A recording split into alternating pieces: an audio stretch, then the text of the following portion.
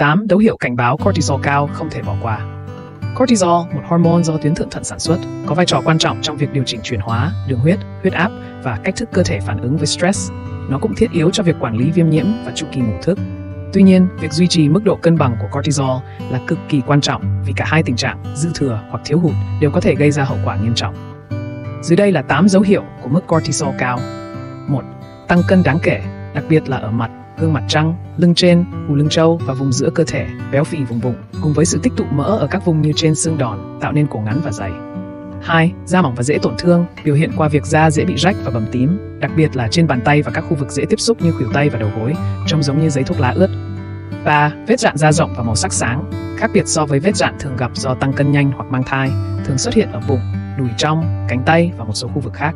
4. Gai đen, tình trạng da dày lên và có màu nâu đen, thường gặp ở cổ, dưới cánh tay và một số khu vực khác là dấu hiệu của sự kháng insulin.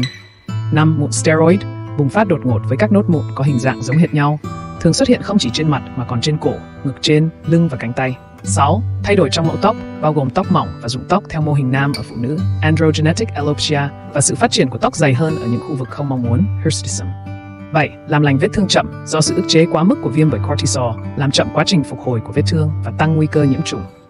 8. Tăng nguy cơ nhiễm trùng da bao gồm candida do hệ thống miễn dịch bị suy yếu và phản ứng viêm bị ức chế.